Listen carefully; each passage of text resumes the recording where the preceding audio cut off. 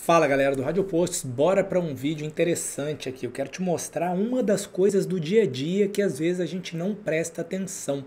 Tá? Então, primeira coisa, bola na rede aqui, anatomia rápida da glândula adrenal. Estamos aqui na adrenal direita. A adrenal direita ela está compreendida, ela está localizada entre a cruz diafragmática e a borda medial do segmento 7, tá? do lobo direito hepático.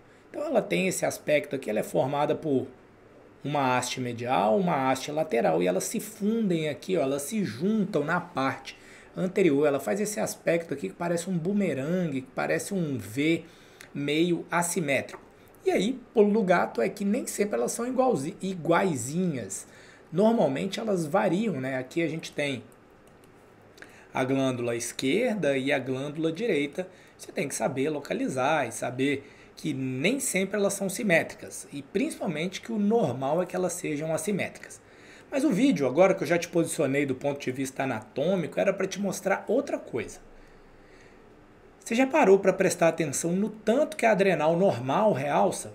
Eu sei que você sabe que a gente usa o protocolo para avaliar o washout é, em lesões, quando a gente quer fazer o diferencial em adenoma ou lesões indeterminadas, muitas vezes metástases na glândula adrenal. A gente sabe aí que um dos principais incidentalomas é, acontece na adrenal, né? uma das maiores frequências é na adrenal. Você precisa dominar primeiro a anatomia e o padrão normal para você conseguir fazer os diferenciais aqui na adrenal. Então o que, que eu quero te mostrar? Se você vier aqui e medir a densidade, você vai encontrar aqui em torno de 26 unidades Hounsfield. Quando você olha o contraste, já sobe para 100. Então, ela realça de forma significativa. Quando você compara com a aorta, que está completamente preenchida por contraste nessa fase arterial tardia, e por que, que eu estou chamando de arterial tardia? Porque você tem contraste na veia porta, mas não tem contraste aonde? Nas veias supra, nas veias hepáticas, né? Então, a adrenal ainda realça menos do que a aorta. Por que, que eu estou te falando isso?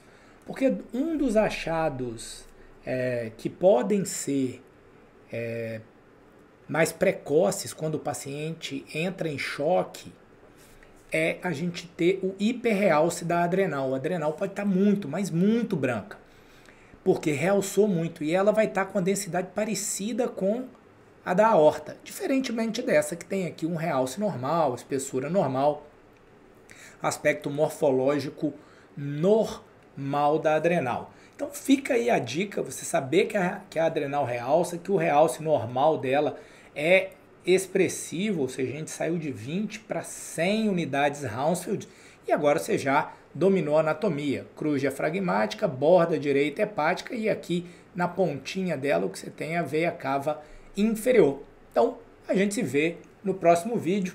Deixa aí seu comentário, sua sugestão, a sua dúvida em relação a esse tema, que a gente puder fazer para te ajudar, a gente já responde logo abaixo. Um abraço.